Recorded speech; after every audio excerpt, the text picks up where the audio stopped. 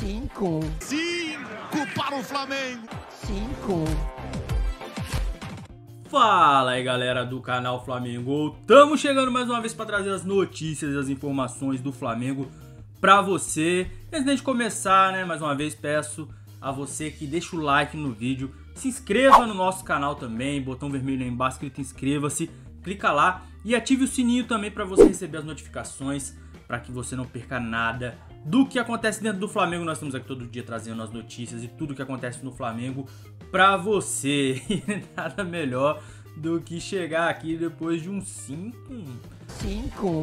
daqueles de arrebentar contra o São Paulo, caindo tabu, caindo tudo, meu amigo. Tem essa não. O Flamengo sofreu aquele gol e logo após, né, depois de alguns sofrimentos, alguns xingamentos aí por parte de alguns torcedores, o Flamengo foi lá e amassou. O Bruno Henrique resolveu a parada e o Flamengo ganhou mais uma vez de 5. Cinco. Mais uma vez, né? Mais um hat-trick, né? Teve o hat-trick do Gabigol contra o Bahia, agora o hat-trick do Bruno Henrique. De quem será o próximo hat-trick? Será que vai ser do Pedro? Será que vai ser do Michael? Será que vai ser do Vitinho? Olha aí, até o Vitinho tá jogando bem, pô. Vitinho, Michael, todo mundo jogando pra caramba. E o negócio é o seguinte, vamos trazer as notícias aqui.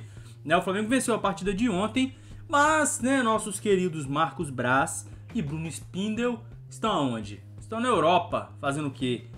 Procurando atletas, procurando fechar negócios, né? A gente sabe, né? Já, já não é de hoje, né? Que todo mundo sabe que o alvo do Flamengo são Kennedy e Thiago Mendes. Inclusive, o próprio Marcos Braz falou: estamos indo para a Europa para fechar a negociação com o Kennedy com o Thiago Mendes lá, fechar com o Chelsea e fechar com o Lyon, né? Para trazer esses dois jogadores aí para o Flamengo, né? Fechar, conversar cara a cara, né? Cara a cara ali com o dirigente. Porque esse negócio de conversar, ah, eu quero isso, eu quero aquilo tal, esse negócio não dá certo. Senta, conversa, redige o contrato e acabou. Né? Faz as duas contratações que o Mengão precisa. Precisa. Mas eu gostaria de fazer uma pergunta para vocês. A próxima partida do Flamengo, né, é contra o ABC no Rio de Janeiro, quinta-feira, né? Primeira partida da Copa do Brasil. O que eu quero saber é o seguinte: você, se você é o Renate, Renate Gaúcho, o que, que você faria? Você pouparia o time ou manteria o time titular, mesmo os principais jogadores, todos para poder enfrentar o ABC? O que, que você faria? Eu não pouparia. A não ser que a fisiologia, lógico, fala, ó, tem que poupar o Rodrigo Caio, tem que poupar o Felipe Luiz, sei lá. Aí poupa, beleza. Mas, se a fisiologia não fala nada, libera, mano, vai todo mundo.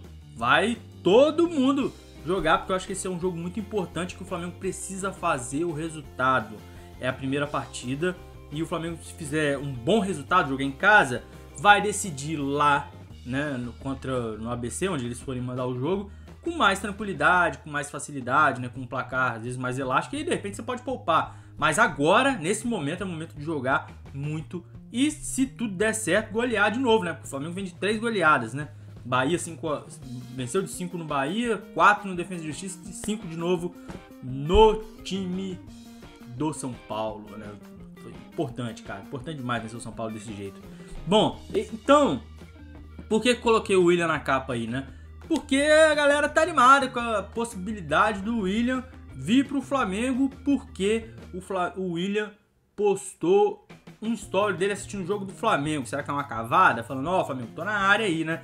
Lembrando que o Marcos Braz, o próprio Marcos Braz falou, além do Kennedy e do Thiago Mendes, ainda negocio com mais um jogador que não vazou. Não foi falado o nome dele em momento algum por ninguém. Ninguém conseguiu descobrir ainda que nós estamos negociando com esse jogador. Ué, se esse jogador for o William, até onde a gente sabe, ele não vai renovar o seu contrato. Ou seja, pode ser que ele fique livre no mercado para poder ir para qualquer time. Eu acredito que a maior necessidade do Flamengo hoje é na zaga. O Flamengo precisa de mais um zagueiro, já que, assim, esse zagueiro era para ser o Bruno Viana, mas o Bruno Viana não tá jogando nada. Aparentemente ele não está comprometido e tudo mais. Então o Flamengo precisa de mais um zagueiro. Né? O Bruno Viana já provou que ele não é esse zagueiro. Então beleza. Agora, se houver uma oportunidade pelo William, pô, baita reforço, né? Vai que o cara tá cavando a vaguinha dele. Porque lembrando que ele não é flamenguista de origem. Ele nasceu lá no Corinthians, né? Não sei se ele é corintiano, acredito até que ele é. Então, pô, o cara tá assistindo o jogo do Flamengo postar, é porque, cara, ó, não tô falando que o William vai vir pro Flamengo, longe de mim falar alguma coisa dessa, né? Mas Por que não?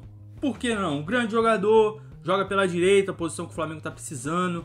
Pô, tem o Kennedy vindo, é ponta, beleza, mas cara, se você traz um cara como o William para colocar no elenco, você reforça o Flamengo de uma forma assim, não dá nem pra contar. O maior reforço que o Flamengo trouxe nesses últimos tempos, para mim, se chama Renato Portaluppi. Né? Já dá para ver claramente que ele trouxe de, com ele o Gustavo Henrique, o Léo Pereira, o Michael e o Vitinho. Os caras que nunca jogaram nada no Flamengo começaram a jogar agora com o Renate. Então, para mim, o maior reforço do Flamengo é o Renato Gaúcho, que trouxe com ele quatro jogadores. Né? Arrumou o Flamengo. O Flamengo hoje não é mais um time, é, um bando em campo. Nada, é um baita de um time jogando muita bola. Pelo menos nesses três jogos aí, né? Teve o jogo também contra Defesa e Justiça lá na Argentina, mas foi o primeiro jogo do cara, a gente ganhou ainda, mesmo sem jogar nada. Né? Então dá pra ver uma grande evolução do Flamengo na mão do Renato Portaluppi, principalmente por parte de jogadores que não estavam jogando absolutamente nada. Isso para mim é incrível. Renato Gaúcho, em quatro jogos, ganhou quatro jogos e deu três goleadas. Isso é uma coisa incrível, é incrível. É, são são 5 mais 5, 10, 14 mais um, 15 gols. É, um, dois gols sofridos, um deles nem é, foi uma falha absurda do Diego Alves, né? É uma coisa assim, é, é, absurdo. O que o Flamengo vem jogando é absurdo. É um absurdo. Espero que continue assim por muito e muito tempo. Então, tô falando que o William vai vir pro Flamengo? Não, não tô falando. Mas só estou mostrando que os Marcos Braz e Bruno Spindle estão na Europa, negociando com jogadores o Flamengo tem mais um jogador, o próprio Marcos Braz falou que está negociando com mais um jogador que ninguém sabe quem é. E aí o William, que está perto de sair do time dele, posta uma foto assistindo o jogo do Flamengo. E a gente sabe que é uma das necessidades do elenco.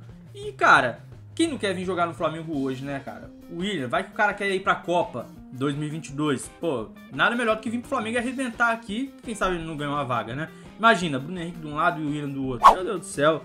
Mas é isso, galera. Então, deixa o like no vídeo, se inscreva no nosso canal, ative o sininho para receber as notificações e até a próxima.